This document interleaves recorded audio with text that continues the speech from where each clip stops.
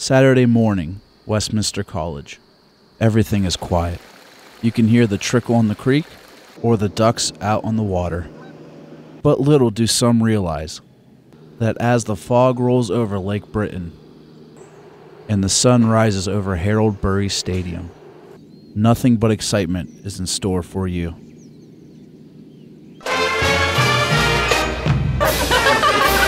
When they throw and it is intercepted and look out. Westminster may come up with two points. It is intercepted by Lou Berry and you can forget it. Berry is going to take it all the way. Down play for the Titans.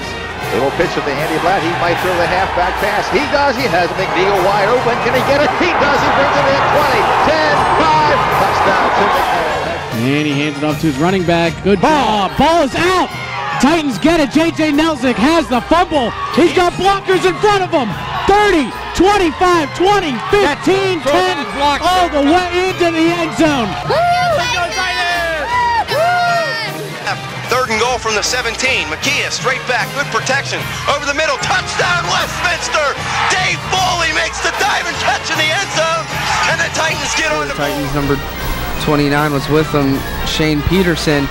But Kyle Allen gets the return, and he He's is so loose. dangerous into Grove City territory. He's gone at a 20, 10, 5, touchdown Westminster. Snaps back, balls down, kicks up. It's going in. It's good. It's good. Amazing. A touchdown, but I don't know if that's going to happen. Here's Tokar making a cutback, and I think he is gone. He is. A touchdown for Brad Tokar, untouched from 17 yards. Over the years, the Titans have had tons of success. But many Titan fans will tell you of the 88 team and the amazing winning streak that they started. Some would think this is another boys to men story, but not the 88 team. 13 seconds remaining in the contest. Score is all tied up 14 14. It is fourth down and 10 for the Westminster Titans at the 33 yard line. Osborne lines up to the right, Foley to the left. DiGrotola and Mike Games in the T formation.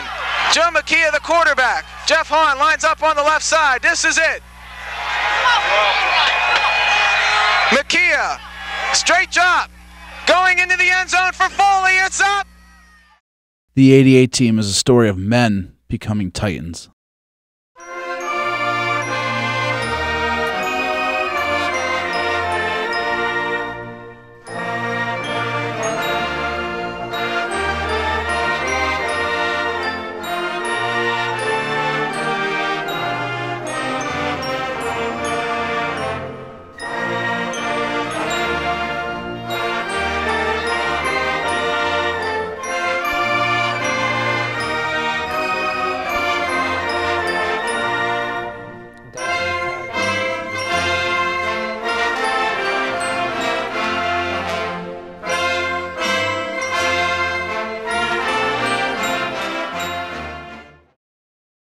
Since taking over in 72, coach Joe Fusco had led the Titans to two national championships and a 116, 32, and 3 record heading into the 1988 season.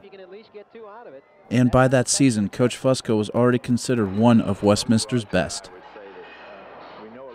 his coaching style, um, it left nothing to question. You knew exactly where he stood. You understood what was uh, to be accomplished, and the expectations were: you do the little things right. You don't overlook any of the details. Everything is important, and once you start cutting corners, that's when you make mistakes.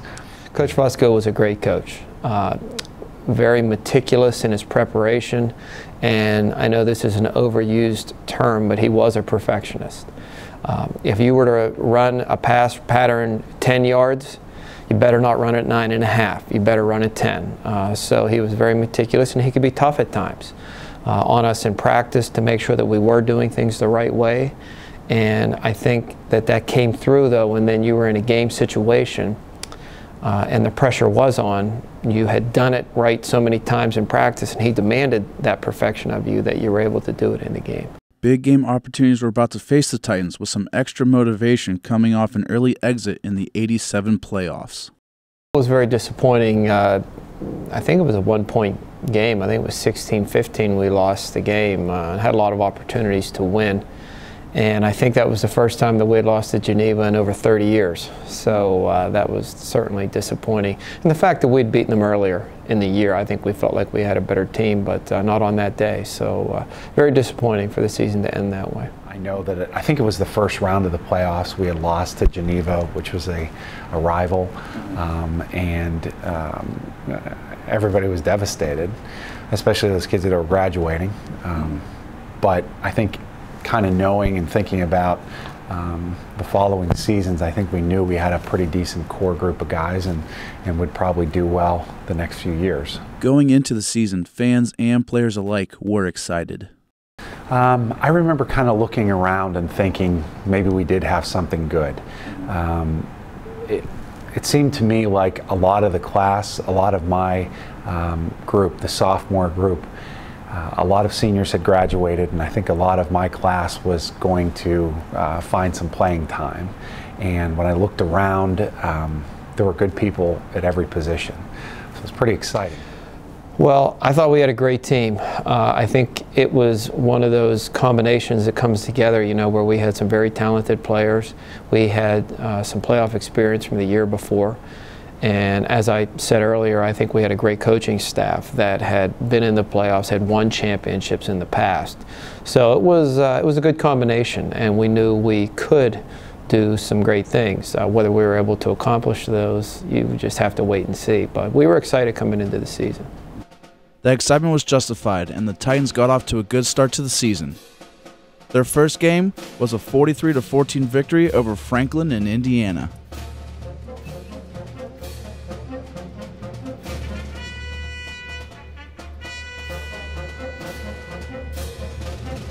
A tough 23 17 victory against a tough Findlay team out of Ohio.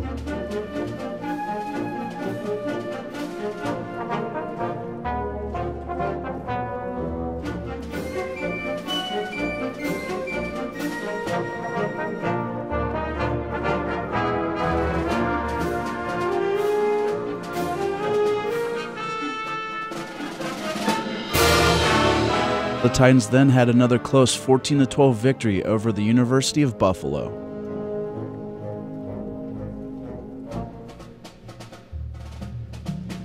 Next, the Titans had a 36 3 blowout victory at Adrian College in Michigan.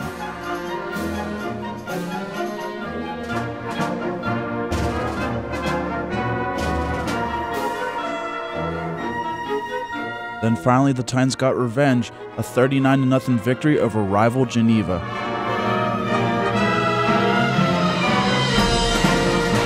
The Titans finished the first half of the regular season 5 0.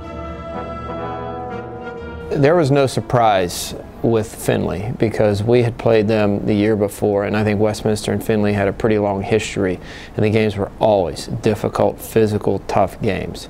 So playing uh, a close, hard-fought game with Findlay was no surprise. Uh, anytime you play them, you're happy to get a win, uh, which we did. Buffalo, I don't think we quite played as well as we could. Uh, we kind of had a long bus ride, and I think we maybe were a little bit flat. Uh, but ultimately, we were able to win, and I think that's what good teams do. Some some days you have your best game, some days you don't. But if you're able to still do enough to win the game, uh, so we felt good to be undefeated to team. It's always good to beat a rival. Um, it's always good to beat a rival by a lot, too. Um, I, th I think if the tables were turned, they would they would you know love to beat us as well. But um, a lot of those guys uh, that were on the Geneva team, a lot of our players had played with them in high school, knew knew some of the people, and um, it, it is it's it's a good feeling to beat up on on a rival. So. That was really exciting. Again, much like Findlay, I described earlier, Geneva and Westminster have a long history, and that was always a big rivalry. Um, two local schools, so a lot of players on our team are from down near that area and people from up here down on their team. Uh, so the players knew each other, the coaches knew each other, the history involved, uh, what had happened the year before when they did upset us. Uh, we were ranked very highly, they were ranked very highly, so there was a lot of build-up to that game, and it was exciting. And I just think we came out really hard and ready to play, and I got a big win. The game against Geneva certainly was a big victory, but not as big as the game against West Virginia Wesleyan, where Westminster came back from a halftime deficit to win 56 to 42. Tokar had 100 plus yards, and quarterback Joe McKee had 362 yards and five touchdowns. Three of those went to Dave Foley, and with that victory, the Titans were now the number one team in the land. Yeah, Dave, Dave's a big game receiver. Uh, I think when you, you look back at the tapes, and it seemed like whenever you needed a big catch, Dave was the person to make that catch. He had a great game down at West Virginia Wesleyan, you know, and uh, right before halftime, uh, Joe and Dave, I think, connected for a long touchdown pass, which got us close. And then we came out in the second half, and it almost looked like a replay. Dave and Joe connected again for a long touchdown pass, uh, which got us right back into the game. So again, uh, I don't think it was our best game. Certainly not for our defense, which was a great defense, but we were able to do what we had to do to win. It's kind of a back and forth deal, and, and if I can recall, I think we had some turnovers early on, and we got behind, and. Um, I think that game, um, that game propelled us through for the next three years, I believe, because they were, um, we were, we were behind and we were really far behind, and we're able to get the ball, maybe get some good stops on defense, and um, yeah, it was a, it was a, it was a good game for all of us, I think. Now being ranked number one in the country, the Titans rolled. After West Virginia Wesleyan was Waynesburg, where the Titans prevailed 30 to nothing.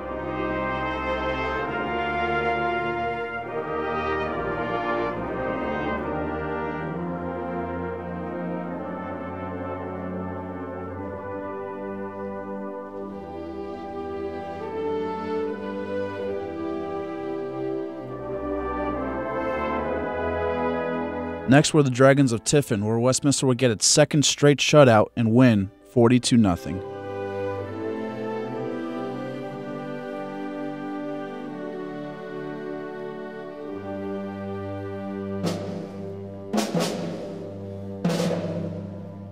Buffalo State followed, where the Titans posted 21 points in the second half to win 21 7.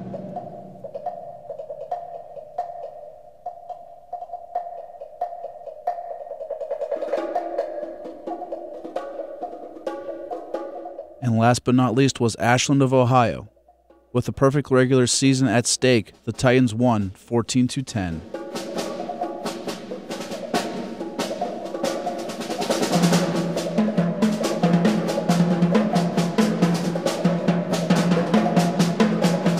Now the Titans were undefeated and number one heading into the playoffs. Think every that's the goal. You know, you, you don't want to lose any games, and um,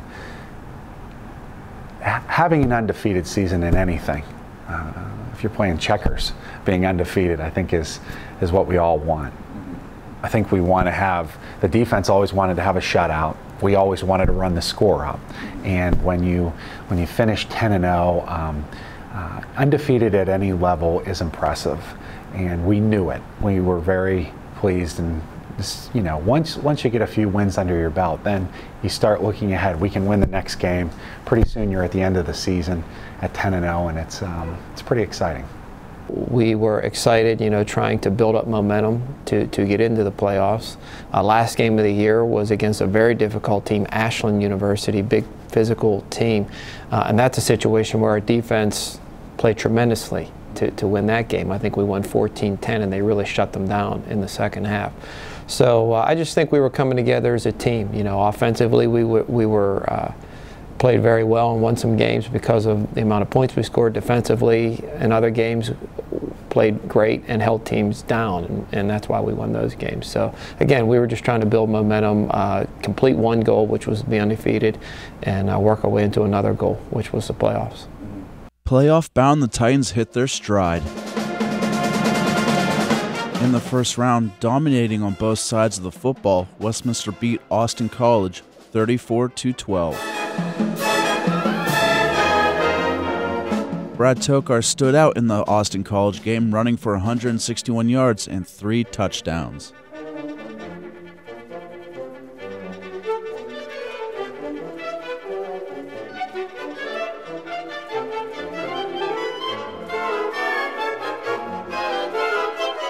In the quarterfinals, Westminster hosted the Bluffton College Beavers, and the Titans blew them out 42 7.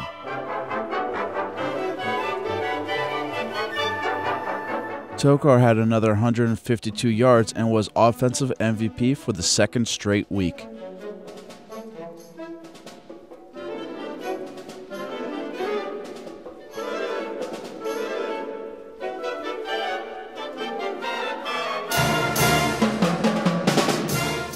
In the semifinals, Westminster faced another undefeated team in Evangel College in Springfield, Missouri. Behind a dominating defensive effort and a 100 yard two touchdown day for tight end Jeff Hahn, the Titans prevailed 26 9.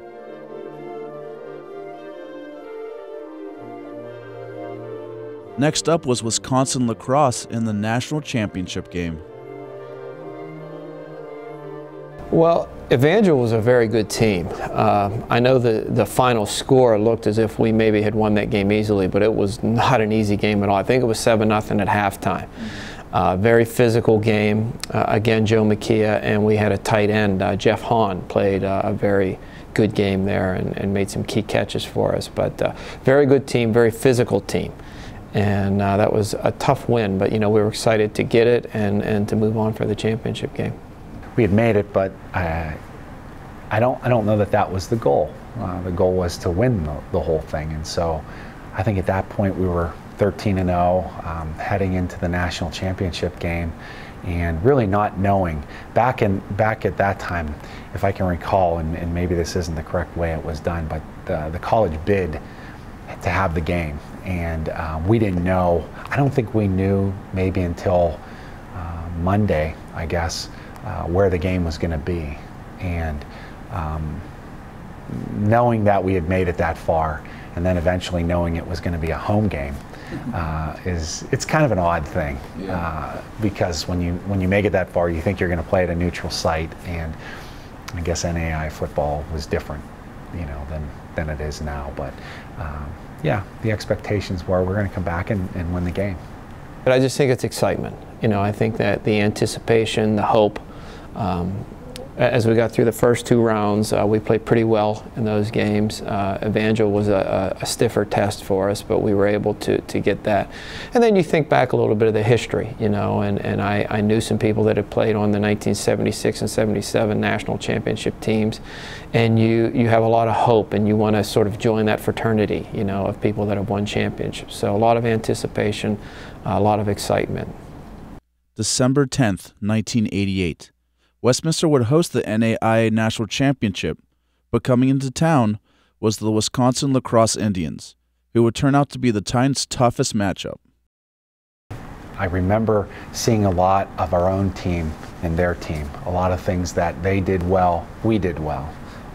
Um, and um, we, were, we were playing maybe a mirror image of ourselves. They had, a, they had a good quarterback, they had a good running back, their defense swarmed to the ball um, they were just they were an exceptional team as well. Well, we saw a scary team in Wisconsin La Crosse. They were huge. I mean, they, they were so much bigger than we were and, and physical. And uh, we knew we were just going to have to play a, a great game. Um, the atmosphere on the campus was great. You know, I think students were excited. Uh, local media, new, newspapers, and, and, TV stations were coming to campus. So uh, it was kind of an exciting atmosphere. I think the students were excited. I know the players were excited. Uh, at the same time, nervous because uh, when we did see the opponent we were going to play on film, I mean, they were a great team. And I guess when you're in a championship game, you know you're going to play a great team. But uh, they were physically imposing. The weather in western Pennsylvania is usually bad in December and the Friday before the game it started snowing. On top of that, quarterback Joe McKeon was battling the flu, leaving some doubt if he would even play in the game. That was probably the scariest thing of all. That was scarier than the snow and uh, even scarier than the team we were playing. Joe, Joe's a great player and uh, had been a great player all year and was responsible for a lot of the victories that, that we had, that's for sure. So the thought of going into that game without him was, was very scary. Uh, we had a banquet the night before, and he did not even show up to the banquet.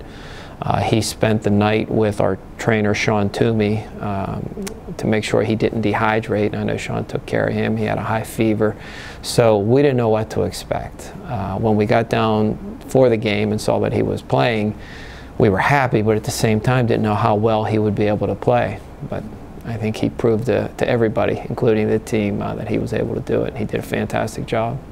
It added to the lore of the game. Uh, it, it makes it it makes it a little more exciting because it was cold and there was there was a lot of snow. Um, but uh, I don't think any of us thought the weather was going to get in the way of, of what we were trying to accomplish.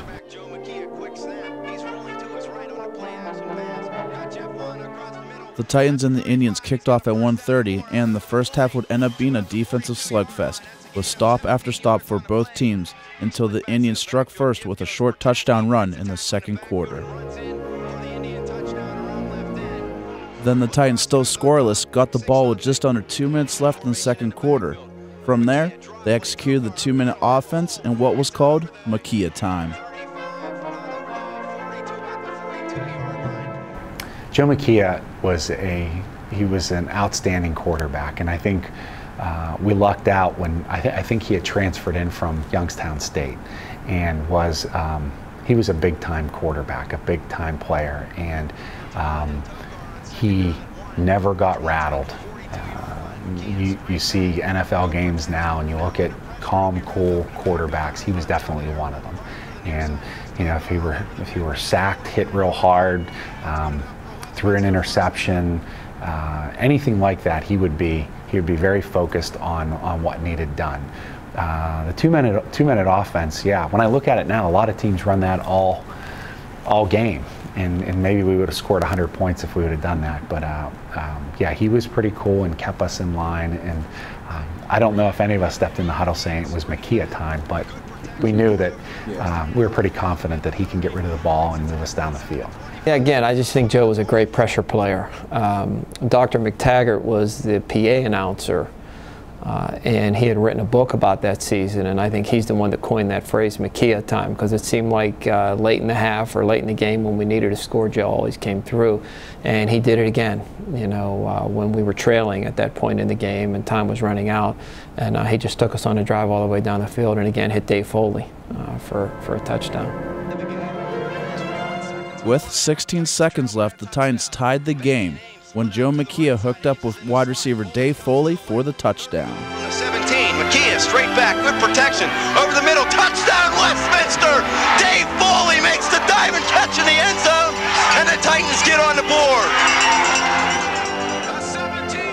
Westminster went into halftime tied 7 7. Before the half, and Westminster comes back. They now trail 7 to 6. Well, we were happy to be tied, but at the same time, I felt like uh, the, they had controlled the play pretty much. Uh, they, they were running the ball early and they were able to move the ball on us. We were having trouble moving the ball at times. So happy to be tied, uh, but concerned for the second half. I knew that we had to make some adjustments and play better. Uh, it, was a, it was a very tough half, and um, think going into the locker room, we, we assumed we were going to win. Yeah, tied up 7 7, I guess. Um, yeah, it was. I don't know that really anything stands out to me about halftime of the game. Um, I, I, think um, our coaching staff was very good at making adjustments at halftime. And if they saw something that needed fixed, um, they were good at kind of redirecting us and, and getting us um, to a, to a position where we'd be successful. The crowd, the players trying to get the crowd into this game. It is all tied up 7 to 7, we're set for the second half of football. The second half was similar to the first half, a defensive slugfest going back and forth. In the backfield behind Reen. Pass play left side. He's got pressure. He's going to be sacked by Todd Fedor. Fumble on the play. And the Titans recover at their own 45 yard line. Ball is at the Titan 40 yard line. Reen to throw. Plenty of time over the middle. Nobody will be there. It's finally in intercepted by Jeff Catanzaro. He hauls it in at about the Titan 20 yard line. The Titans will take over on the turnover. Green trying to go to. The third quarter was scoreless until a Joe Makia fumble gave the Indians first and goal on the Titan four yard line. The ball and La Crosse will come up with it, I believe, inside the Titan five-yard line. Then, with 37 seconds left in the third quarter, Wisconsin La Crosse pounded the rock into the end zone and went up 14 to 7.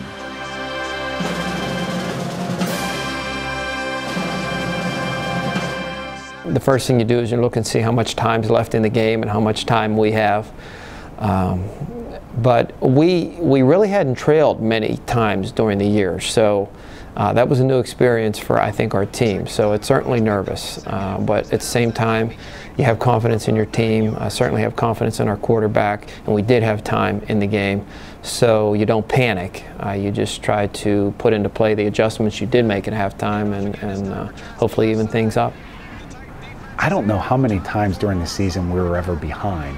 But like I said before, with some of those close games and coming out on top, nobody panicked. Nobody panicked. We knew that we could score. We knew that we would get it together. We knew somebody would make a big play when the opportunity came up. And um, I don't think, I think when you're in the thick of it, you think, okay, they scored. Okay, it's our turn to have the ball. Let's go do the same thing. Most of the fourth quarter was scoreless, and fans disheartened were wondering what the Titans could do.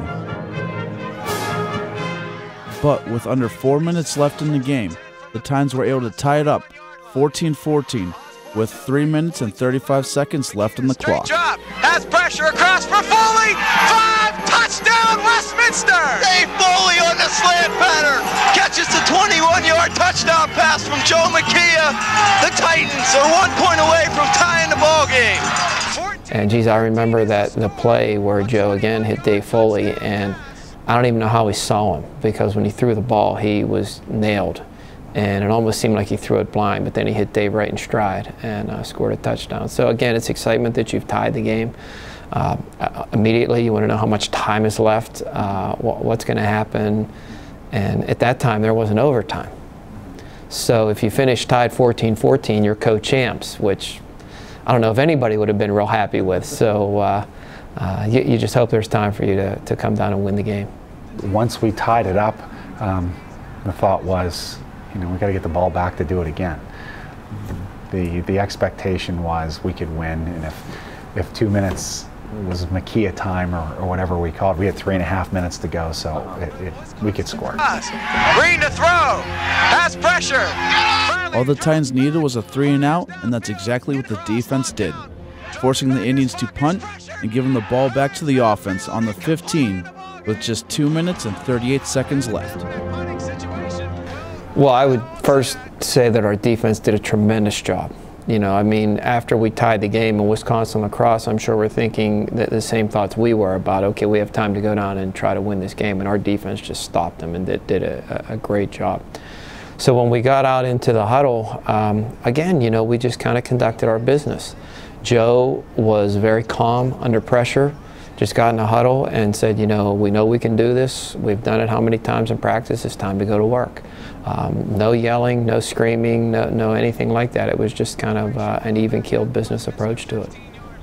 whatever was left on the clock was that was plenty of time to get the ball down the field, and uh, um, I think I think we had a couple close calls, like where it was maybe third and 10, third and 15, or fourth down even. I think we may have converted a couple fourth downs uh, too, and um, I don't know. When I think about it as an adult, I might have been more nervous when I look back. But um, when you're when you're there, not that you aren't an adult while you're in college, but when you're when you're there and, in, and you're in the, th- in the thick of it, you don't really think that much about it. I think uh, the, the thought was we were going to score. McKeon on a drop play to. Westminster was just about to start a drive for the ages.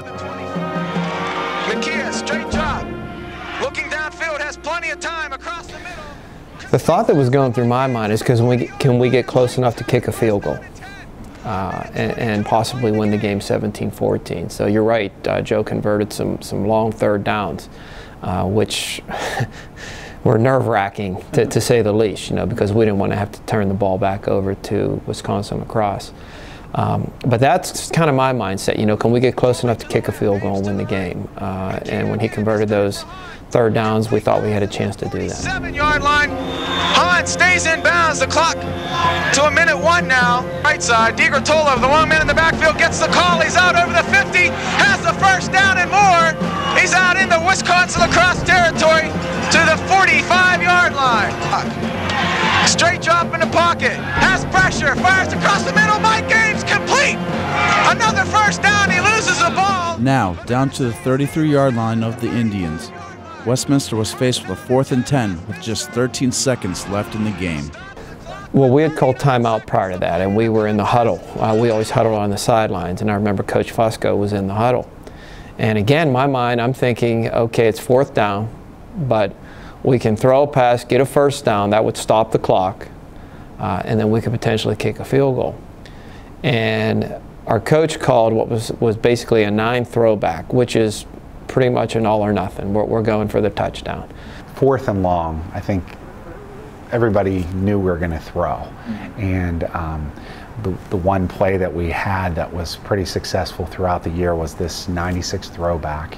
A nine is just kind of a streak route down the down the sideline. Six meant the other guy was going to do like a, a dig route, uh, 10, 15 yard in, and um, the quarterback rolls to the right to try to get the defense to move to the right. As he did that, um, uh, the corner that was playing in front of me took one step inside, and as soon as he took a step inside, I was able to kind of get on his outside shoulder and. Um, the 9 6 throwback would be the call for the most memorable play in Titan football history. 13 seconds remaining in the contest. Score is all tied up 14 14. It is fourth down and 10 for the Westminster Titans at the 33 yard line. Osborne lines up to the right, Foley to the left. DiGrotola and Mike Games in the T formation. Joe McKee, the quarterback. Jeff Hahn lines up on the left side. This is it. Makia, straight drop, going into the end zone for Foley. It's up. Touchdown, Westminster! The Titans have won it. Seven seconds remaining. The Westminster Titans are the national champions. The Titans took the lead for good, 21-14, with just seven seconds left. Pulled it into the end zone. Every fan is on the field. We have seven. And when those seven seconds ticked off the clock, your Westminster Titans were NAIA Division II national champions. Oh, unbelievable! Every fan is out on the field. Um, I, there were there was a couple plays prior to that where um, I was able to get behind uh, this same defensive back and the ball was overthrown. Uh-huh. And I remember thinking, boy, if I that could have been it. I could have had it and we could have we could have won during the timeout, Joe DiGrotola, who was our fullback at the time, came over and kind of whispered in my ear, "You better get it." And um, I, I don't know that I thought much about it, but I, you know, I was able to kind of pull myself together, get back out there on the field, and and um, I was able to get behind the guy. The officials' arms go up. It was just jubilation. You know, it was hard to believe, uh, uh, and and very exciting. So, and just to, to make that kind of throw uh, that Joe did in those conditions, you know, in the cold, wet, windy, snowy, uh, and to make that kind of catch that, that Dave made was just phenomenal. When I caught it, um, I kind of rolled over to the side, and at that point, it, there used to be uh, a rope around the back, and people would stand all along that rope. And as soon as I, I got the ball in my hands, people jumped on, jumped over that rope and jumped on me. You, you don't, I didn't want to get undressed. Uh, I was just in my uniform and just sort of sharing that experience with your teammates and your coaches, and uh, it was exciting. But I think that it almost takes a day or so to really sink in. You know, in your division, you're the best team in the country, uh, and it does. It, it, it, takes some time to for the, to really digest that. It was fun. That was um, it was a fun it was a fun season, and that game in particular because everybody was all over the field and uh, to win it on your home field is it's exciting.